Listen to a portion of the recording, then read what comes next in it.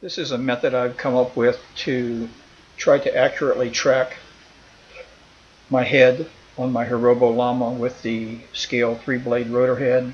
I've tried the universal pitch gauge for miniature and the Hirobo which goes over the blade grips. These work much better obviously if you've got a fly bar. So I came up with this. I took my tablet and made up a little rig from some ply board and piece of balsa mounted my tablet, cut out some holes to fit the blade grips,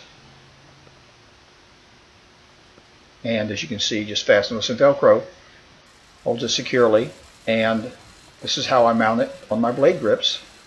Same way as the Hirobo pitch gauge to check the actual angle. So what I've done is turned on my transmitter turned on this clinometer app for Android, which I was able to download for free.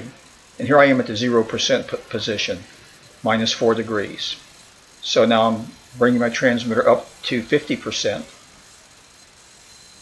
And I'm settling into about 4.2 degrees positive pitch.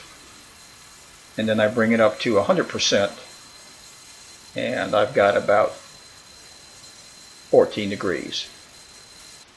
Then I move to position number two. I've got minus 4.4 degrees, again at zero.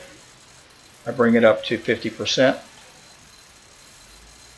And on this blade holder, I come out with about 3.7 degrees and 3.8. And then I bring it up to 100% again, and I end up with 13.5 degrees. And then for the last blade holder, minus 4.2 at zero, bring it up to 50%, and end up with about 4.1. And then take it up to 100% and top out at about 13.